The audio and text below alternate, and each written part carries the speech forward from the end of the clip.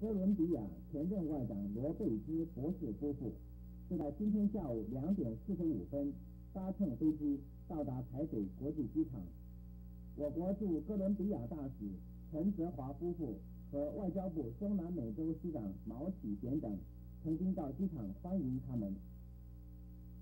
罗贝兹表示，他很早就希望到我国来访问，在这一次访问我国的七天期间。